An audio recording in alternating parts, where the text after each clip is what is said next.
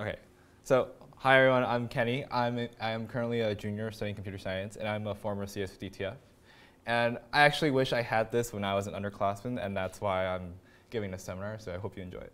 So this seminar is about technical interviews, and all my resources can be found at this link, uh, if you, uh, this link right here.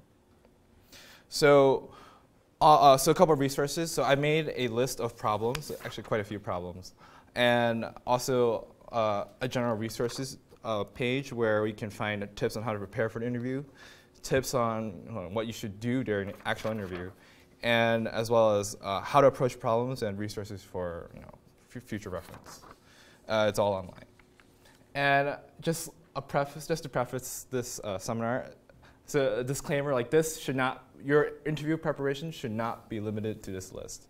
This is only meant to be a guide, and you should definitely, um, you know, take everything I say with a grain of salt, but also use everything I use to help you in your interview preparation. Okay. So I'm going to speed through the next few slides so we can get to the actual case studies.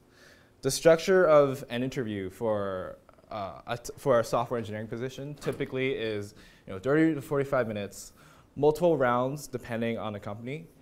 Uh, often you'll be coding on a whiteboard, so a whiteboard like this, but often on a smaller scale if you're having a phone interview, you'll probably be using either CollabEdit or a Google Doc. So they can you, know, see you, you live coding uh, while you're being interviewed over the phone.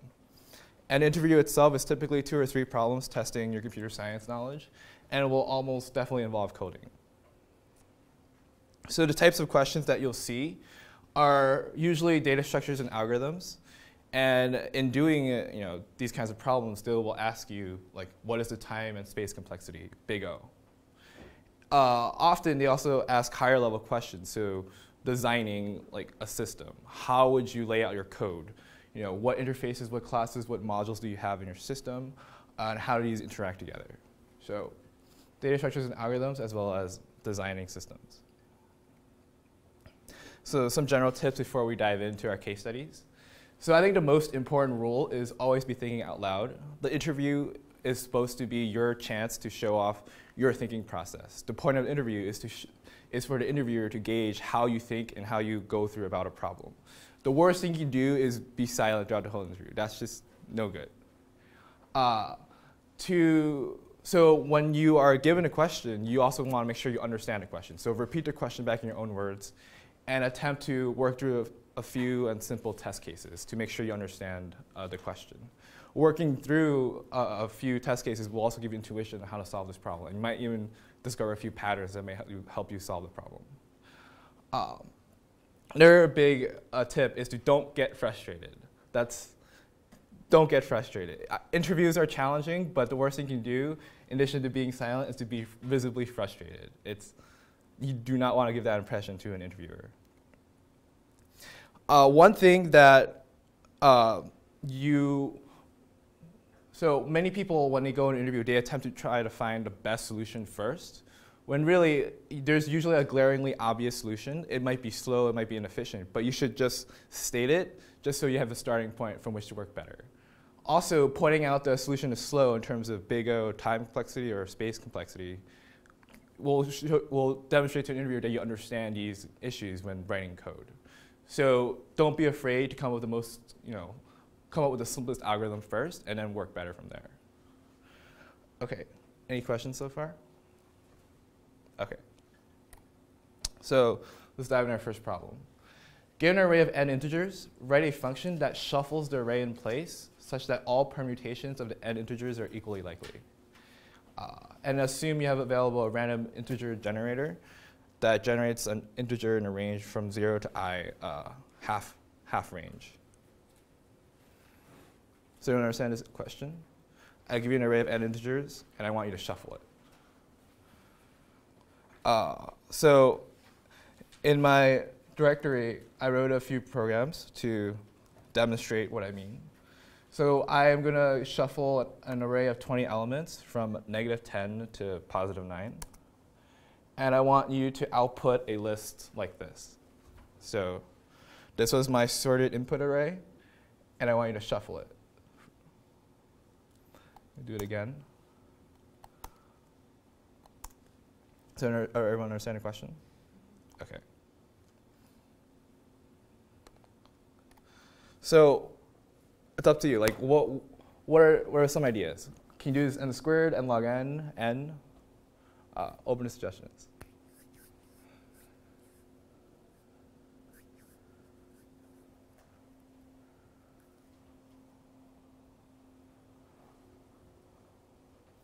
Okay, so one idea suggested by Emmy is first compute a random number, random integer, in a range from 0 to 20. So assume our array has length 20.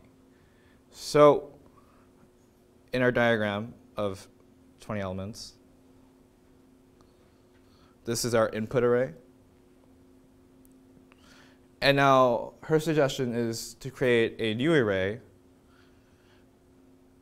so this would be the output array. And based on the i returned by rand, so if i was, let's say, 17, copy the 17th element into the first position.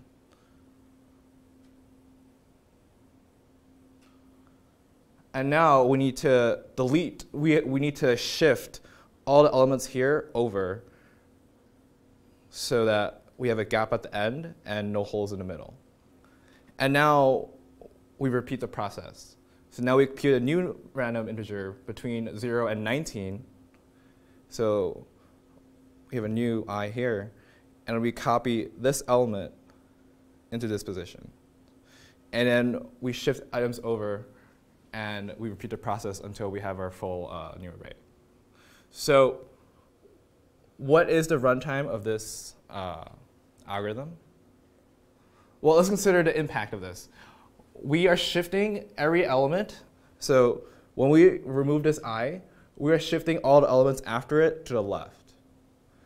And that is an O of n cost. Because what if we remove the first element? So for each removal, we remove, uh, each removal incurs an O of n operation. And since we have n removals, this leads to an O of n squared shuffle. Okay, so good start. Good start. So another suggestion is to use something known as the Knuth shuffle or the Fisher-Yates shuffle. And it is actually a linear time shuffle. And the idea is very similar. So again, we have our input array. But instead of using two arrays for our input output, we use the first portion of the array to, to keep track of our shuffled portion, and we keep track, and then we leave the rest of our array for the unshuffled portion. So here's what I mean. We start off with, and we choose an i um, in a range from 0 to 20. Let's say we choose, so currently um, our current pointer is pointing to the first index. We choose some i here. And now we swap. So if this was uh, 5 and this was 4, the resulting array will have 5 here and 4 here. And now we note a marker here Everything to the left is shuffled. Everything to the right is unshuffled.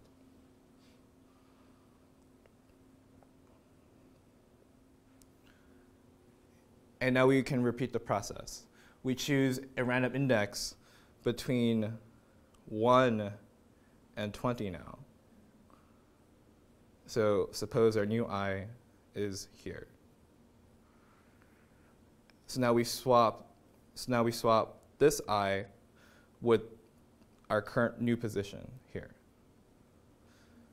And so we do a swapping back and forth like this. So let me bring up the code to make it more concrete.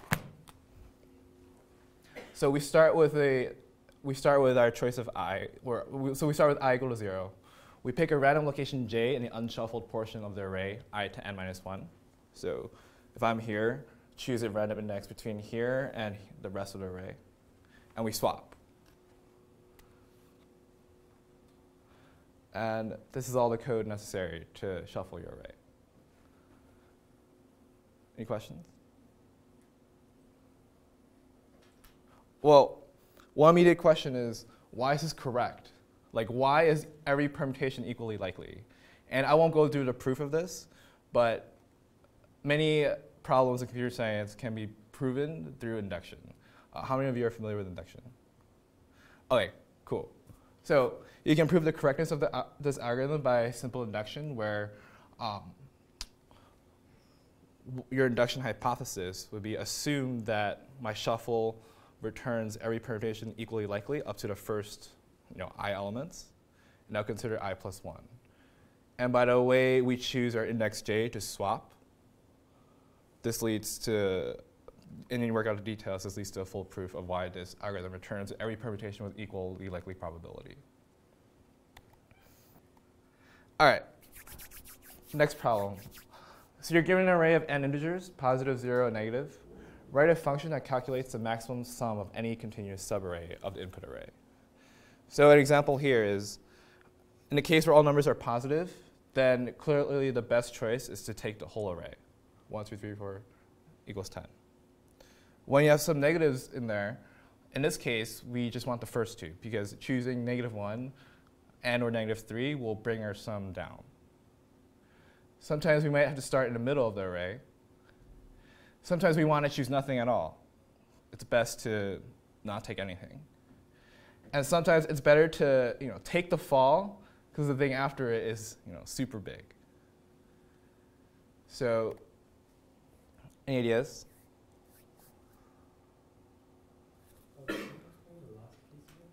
Yeah. So suppose I don't take negative 1. Then either I choose you know, 1,000 and 20,000, or I just choose the 3 billion.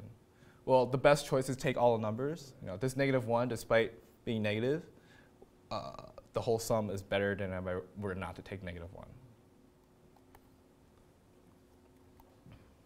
So one of the tips I mentioned earlier was state the, the clearly obvious and the brute force solution first.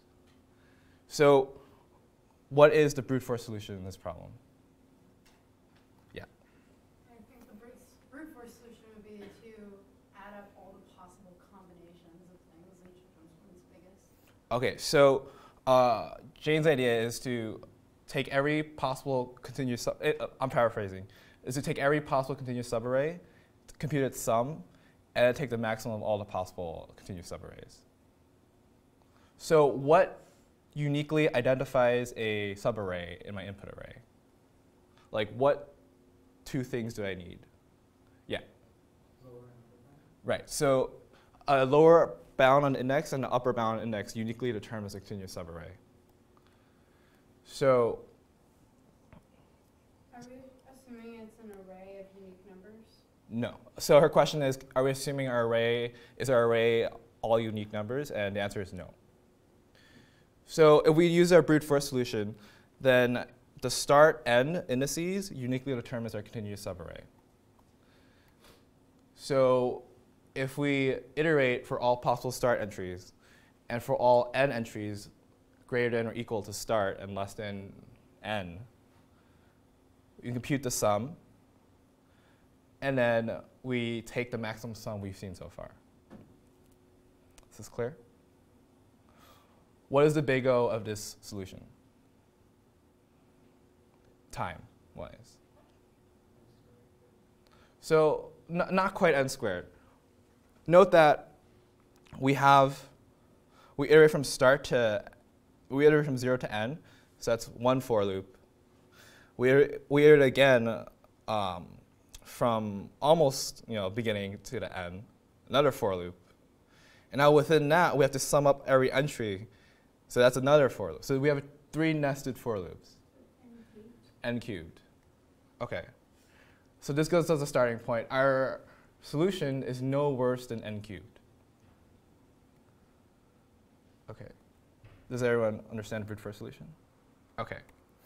So a better solution is to use an idea called dynamic programming. And if you take CS124, which is algorithm of data structures, you will become very familiar with this technique. And the idea is try to build up solutions to smaller problems first.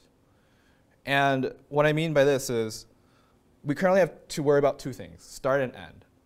And that's annoying. Like, what if we could get rid of one of those parameters? So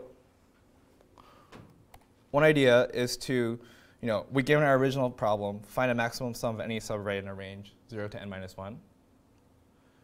And now we have a new subproblem where we just, we know in our current index i, we know we must include there. Our subarray must end at the current index. So the, so the remaining problem is where, do we, where should we start our subarray? Does this make sense? Okay. And let's, so I've coded this up, and let's look at, you know, what this means. So I wrote in the in the code directory, there's a program called subarray, and it takes number of items, and it returns the maximum subarray sum in uh, my shuffled list. So in this case, our maximum subarray is three, and that's taken by just using two and one. Let's run it again. It's also three. But this time, look, note how we got the three. We took the, uh, we just take the three itself because negative, it's surrounded by negatives on both sides, which will bring the sum less than negative three, bring the sum less than three. Let's run on 10 items. This time it's seven. We take the leading three and four. This time it's eight. And we obtain that by taking one, four, and three. So to give you intuition on how we can solve this transformed problem, let's take a look at this subarray. So we're given this input array, and we know the answer is 8. We take the 1, 4, and 3. But let's look at how we actually got that answer. Let's look at the maximal subarray that ended at each of these indices. So what's the maximal subarray that has to end at uh, the first position? Zero. Don't, just don't take the negative 5. So here it's going to be 0 as well. Yeah.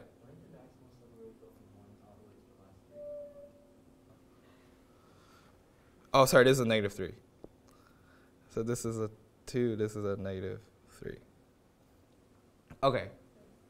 So negative 4, what's the maximal subarray that ends at the position where negative 4 is at? 0.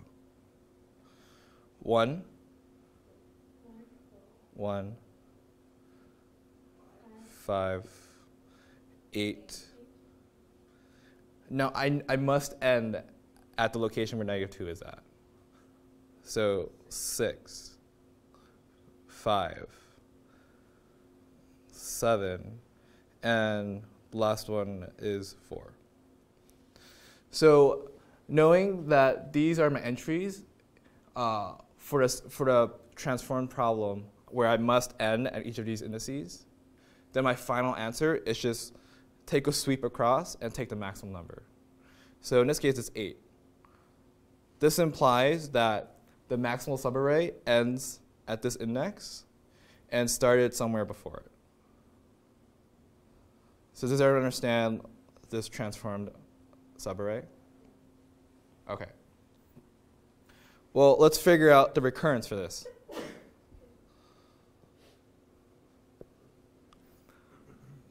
So let's consider just the first few entries.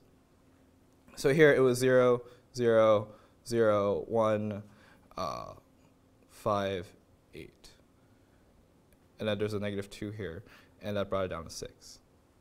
So if I call the entry at position i sub problem i, how can I uh, use the answer to previous subproblems to answer this subproblem? So if I look at, let's say, this entry, how can I compute the answer 6 by looking at a combination of this array and the answers to previous subproblems in this array. Yes? Um, you take the array of sums in the position right before it, so the 8, and you add the current. So her suggestion is to look at these two numbers, this number and this number. So this 8 refers to the answer for subproblem i minus 1.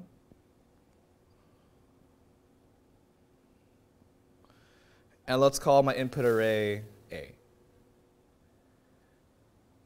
So in order to find a maximal subarray that ends at position i, I have two choices. I can either continue the subarray that ended at the previous index, or start a new in, or start a new array. So if I were to continue the subarray that started at the previous index, then the maximum sum I can achieve is the answer to the previous subproblem plus the current array entry. But I also have the choice of starting a new subarray, in which case the sum is zero. So the answer is max of 0, comma, subproblem i minus 1 plus the current uh, array entry. Does this recurrence make sense?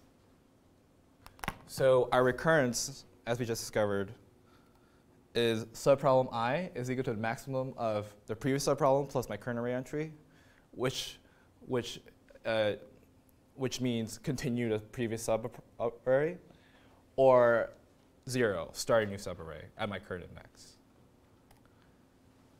And once we have built up this table of solutions, then our final answer, just do a linear sweep across the subproblem array and take the maximum number. So this is an exact implementation of what I just said. So we create a new subproblem array, subproblems. The first entry is either 0 or the first entry, the maximum of those two. And for the rest of the subproblems, uh, we use the exact recurrence we just discovered. And now we compute the maximum of our subproblems array, and that's our final answer.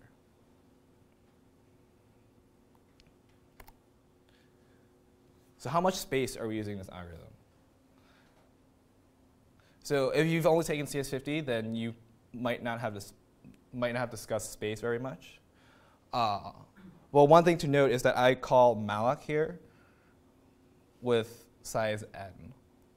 So what does that suggest to you? This algorithm uses linear space. Can we do better? Is there anything that you notice that you know, is unnecessary to compute the final answer? I guess a better question is, what information do we not need to carry all the way through to the end? And if we look at these two, uh, these two lines, we only care up about the previous subproblem, and we only care about the maximum we've ever seen so far. To compute our final answer, we don't need the entire array. We only need the last number, last two numbers. Uh, last number for the subproblem array and the last number for the maximum. So in fact, we can fuse these loops together and uh, go from linear space to constant space. Current sum so far here takes replaces the role of subproblem, our subproblem array. So current sum so far is the answer to the previous subproblem and max sum so far takes the place of our max. So we compute the maximum as we go along. And so we go from linear space to constant space, and we also have a linear solution to our subarray problem. So these kinds of questions you will get during an interview.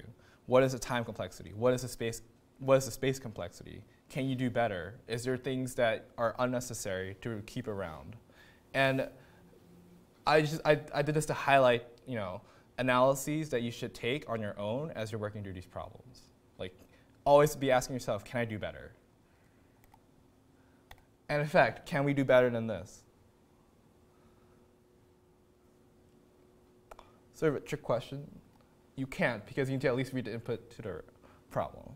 So the fact that you need to at least read the input to the problem means that you can't do better than linear time, and you can't do better than constant space.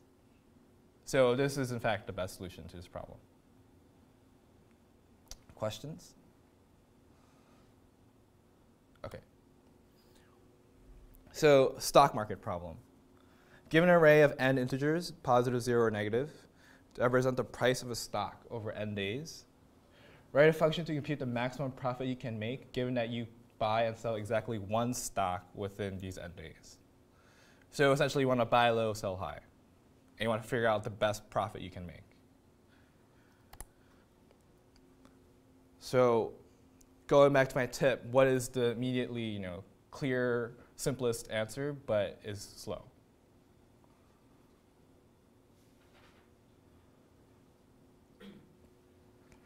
Yes.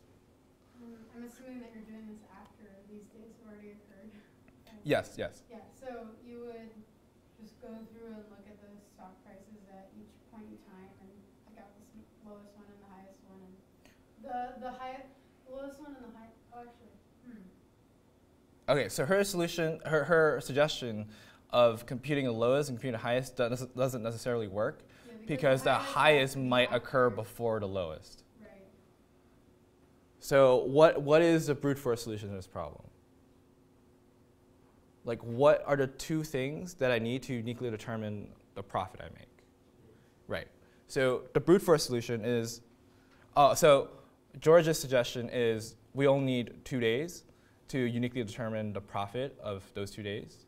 So we compute every pair, like buy, sell, compute the profit, which could be negative or positive or, or negative or, or zero. Compute the maximum profit that we make uh, after iterating all over all pairs of days. That'll be our final answer.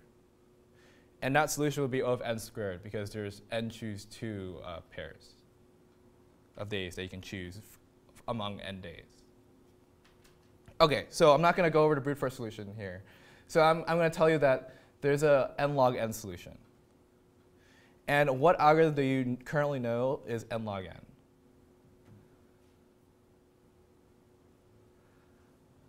It's not a trick question. Sorting. Merge sort. So merge sort uh, is n log n. And in fact, one way of solving this problem is to use a merge sort kind of idea called, in general, divide and conquer. Um, and idea is, is as follows. You want to compute the best buy sell pair in the left half. Find the best profit you can make just with the first n over two days. Now you want to compute the best buy sell pair on the right half, so the, the right last n over two days. And now the question is, how do we merge these solutions back together?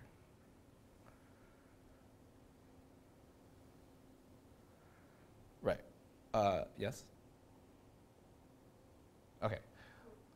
So let me draw a picture.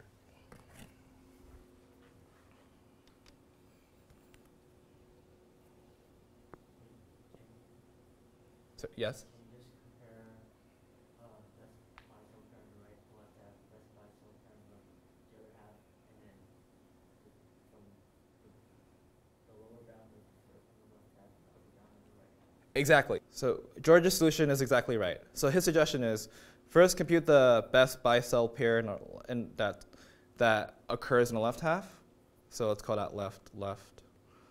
Best buy sell pair that occurs in the right half. But if we only compare these two numbers, we're missing the case where we buy here and sell somewhere in the right half. So we buy in the left half, buy in the right half. And the best way to compute the best buy sell pair that spans both halves is to compute the minimum here and compute the maximum here and take their difference. So the two cases where the buy sell pair occurs only here, only here, or on both halves um, is defined by these three numbers.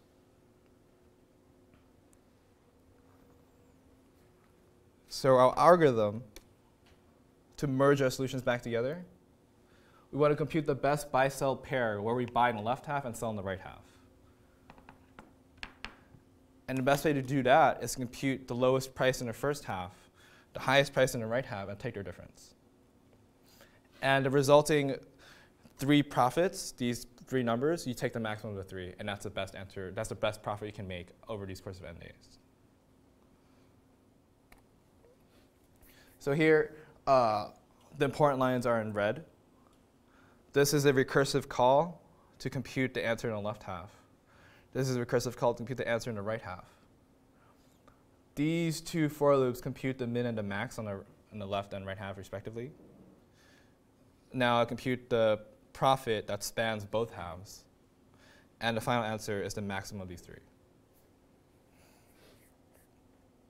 Okay. So, sure, we have an algorithm, but the bigger question is what is the time complexity of this? And the reason why I mentioned merge sort is that this, fo this form of you know, dividing the answer into two and merging our solutions back together is exactly the form of merge sort. So let me go through the derivation.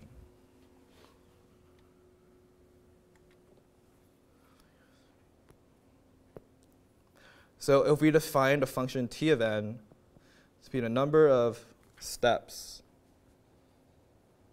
uh, for stocks for, for n, n days,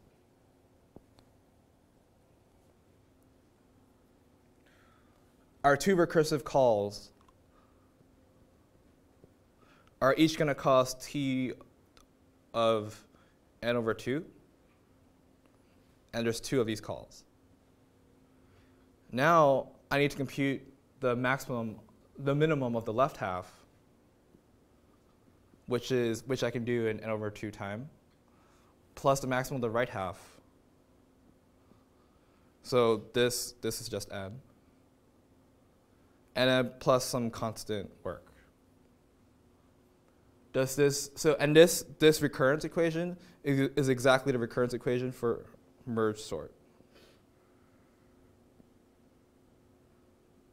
And we all know that merge sort is n log n time. So therefore, our algorithm is also n log n time. Does this derivation make sense? Uh, just a brief um, recap of this. T of n is the number of steps to compute the maximum profit over the course of n days. The way we split up uh, our recursive calls is by calling you know, our, answer, our solution on the first n over two days. So that, that's one call. And then we call it again on the second half. So that's two calls. And then we find a minimum of the left half, which we can do in linear time. Find a maximum of the right half, which we can do in linear time. So n over 2 plus n over 2 is just n. And then we have some constant work, just like doing arithmetic. And this recurrence equation is exactly the recurrence equation for merge sort. Hence, our shuffle algorithm is also n log n.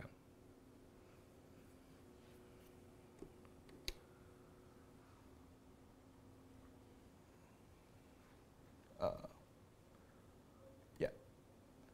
So how much space are we using? Let's go back to the code.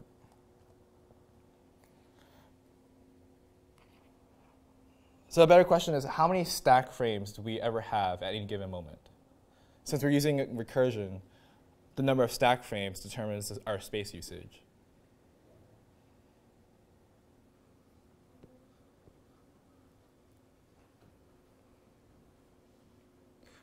Let's consider n equals 8.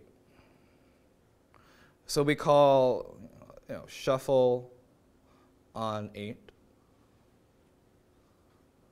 which we'll call shuffle on the first four entries, which we'll call shuffle on the first two entries.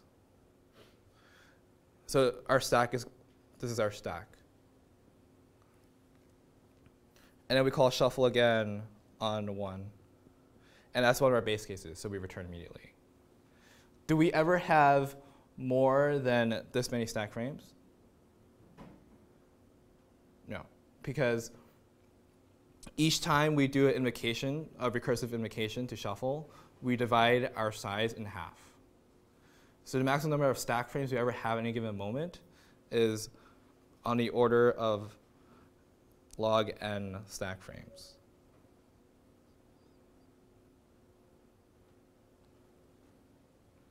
Each stack frame has, so each stack frame has constant space.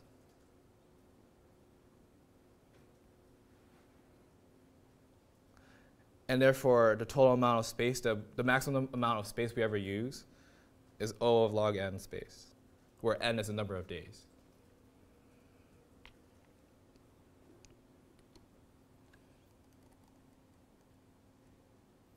Okay. Now, always ask yourself, can we do better? And in particular, can we reduce this to a problem we have already solved?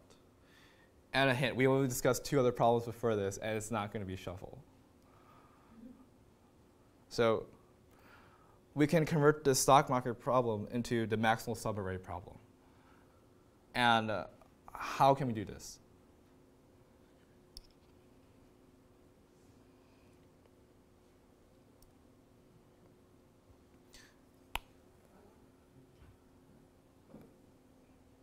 One of you? Emmy? It's, it's like, it's exactly like the maximal subarray problem if you were looking at the change in the stock every day. Exactly. So, uh, so the maximal subarray problem,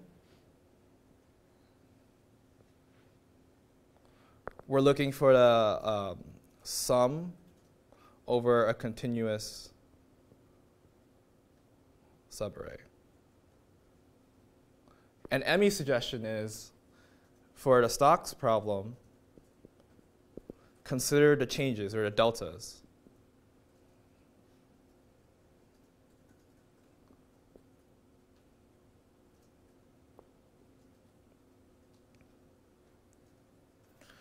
And a picture of this is this is the price of a stock. But if we took the difference between each consecutive day, uh, so we see that the maximum price, maximum profit we can make is if we you know, buy here and sell here. But let's look at the continuous, let's look at the subarray problem. So here, we can make, uh, uh, so, go, so going from here to here, we have a positive change. And then going from here to here, we have a negative change. Uh, but then from going from here to here, we have a huge positive change. And these are the changes that we want to sum up to get our final profit. And then we have uh, more negative changes here. So the key to reducing our stock problem into our maximal subarray problem is to consider the deltas between days. So we can create a new array called the deltas. Initialize the first entry to be zero. And then for each delta i, let that be the difference of my input array i and array i minus one. And then we call our routine procedure for maximal subarray, you, passing in a deltas array. And because maximal subarray is linear time, and this reduction, this process of creating this delta array is also linear time, then the final solution for stocks is O of n work plus O of n work is still O of n work. So we, we have a linear time solution to our problem. Does everyone understand this transformation? So in general, a good idea that you should always have is try to reduce a new problem that you're seeing. If it looks familiar to an old problem, try reducing it to an old problem. And if we can use all the tools that you've used on the old problem to solve the new problem. Okay, so some wrap up. Technical interviews are challenging, so these problems are probably one of the more difficult problems that you might see in an interview.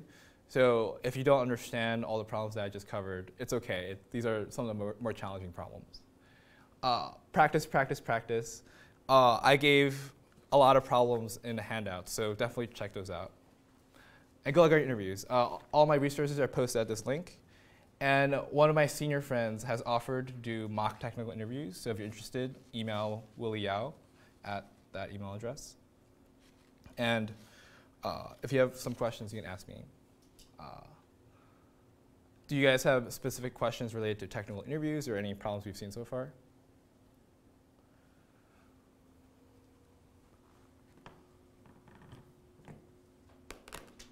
Okay, well, good luck on your interviews.